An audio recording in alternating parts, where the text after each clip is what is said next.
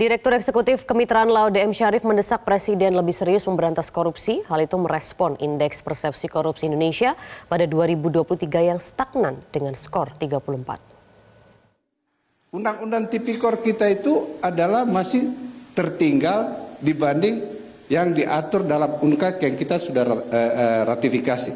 Tapi apa yang terjadi? Bukannya merevisi undang-undang tipikor, mereka revisi undang-undang KPK. -nya.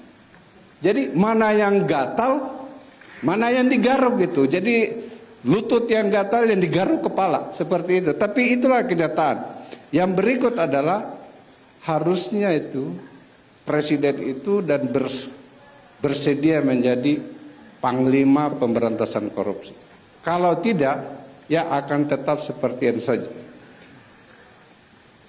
Ada pesan kampanyenya pesan kami itu pilih presiden dan wakil presiden yang jelas rekam jejak anti korupsi.